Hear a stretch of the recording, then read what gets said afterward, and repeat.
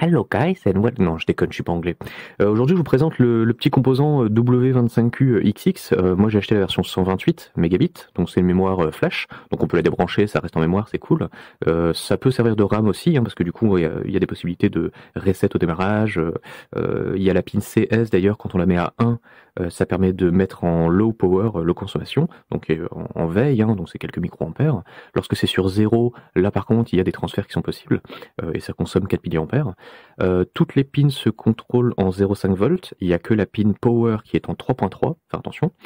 Euh, le composant coûte environ 2,80€ à peu près, euh, livraison incluse.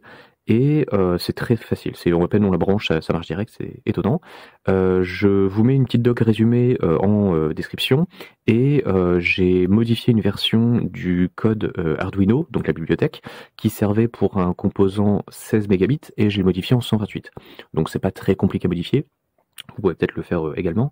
Euh, je vous mets tout ça en, description et je vous dis à très bientôt. N'hésitez pas à poser des questions. Je modifierai la doc euh, si besoin dans le temps.